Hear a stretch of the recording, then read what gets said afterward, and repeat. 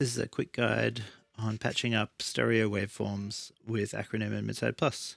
So we patch Acronym into the Midside Plus and mono oh it.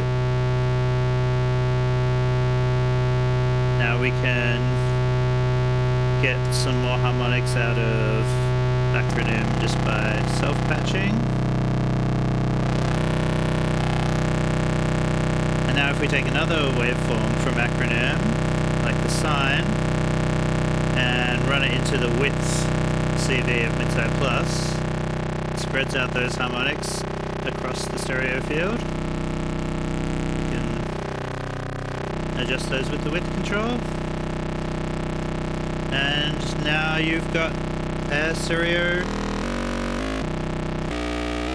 waveform uh, which is perfect for running into any stereo filters that you might have, like the parallax.